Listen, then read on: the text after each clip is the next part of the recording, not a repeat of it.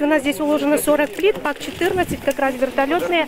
Вот, сделали разметку, светосигнальное оборудование. Светосигнальное оборудование стоит. 620 Экскурсию по НИСИ Галина Варницына начала прямо с вертолетной площадки. Не так давно здесь полностью заменили плиты и нанесли разметку. Далее по пути следования отремонтированный участок проезжей части. С дорогами в населенном пункте не все так гладко, однако стараются справляться собственными силами, а также привлекают на помощь местных бизнесменов.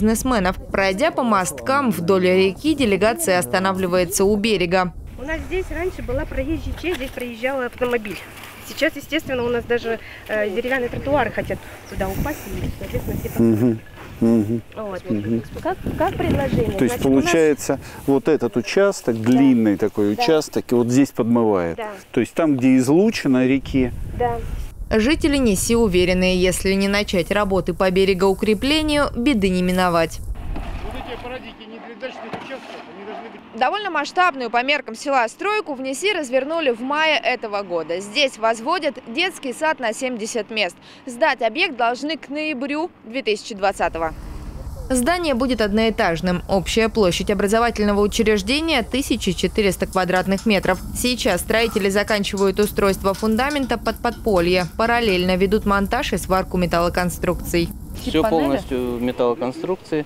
Сэндвич будут полы, стены сэндвич, конструкция потолка тоже сэндвич утепленный, грубо говоря, как термос, и крыша тоже металлическая. Ходе рабочей поездки Юрий Бездудный проинспектировал стройку и пообщался с подрядчиком и начальником участка. Они сообщили о том, что на сегодняшний день уже завезено 90% необходимых материалов. К сентябрю, когда будут построены стены и крыши, планируется доставить отделочные материалы, оборудование и мебель. Работы идут полным ходом.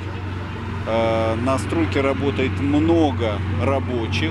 Есть практически все материалы. И до конца года детский садик будет построен. Мы посетили социальные объекты.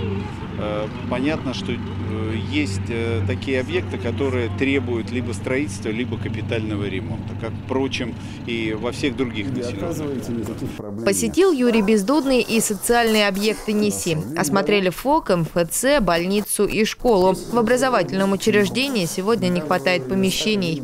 У нас проблема с площадью, вообще с кабинетами. Нам нужно вот как-то расширяться. Э, Два учебных кабинета у нас Вот, да, если интернат мы пока, если мы... Вы задействуете интернат? Да, два учебных Это, кабинета у нас... это не есть правильно, но нам деваться некуда. Чтобы учиться в Да, мы Ну, нужно пройдем, учить как-то, посмотрим, как-то конечно. нужно учить. Руководитель Департамента образования, культуры и спорта Ненецкого округа Антон Пустовалов сообщил, что ведомство планирует рассмотреть возможность строительства нового здания для школы вместо капитального ремонта старого. Для этого необходимо вместе с директором учреждения подобрать подходящий проект. Также во время рабочего визита в НЕС Юрий Бездудный встретился с населением, а также провел личный прием граждан. У меня вопросов было несколько, не только к губернатору, еще и по, в отделе здравоохранения.